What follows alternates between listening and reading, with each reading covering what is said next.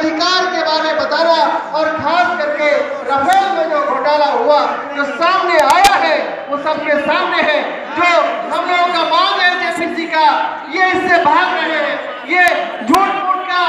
जो supreme court का जो आदेश आया है, उससे वो बरगलाने की कोशिश कर रहे हैं। सुप्रीम कोर्ट का ये अधीन में है ही नहीं, बल्कि ये जेपीसी जब बनेगा, तभी इनका दूध का दूध और पानी का पानी होगा किस